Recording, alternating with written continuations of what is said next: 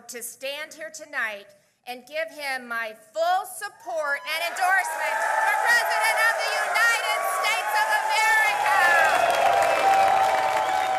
And with your help, a year from now,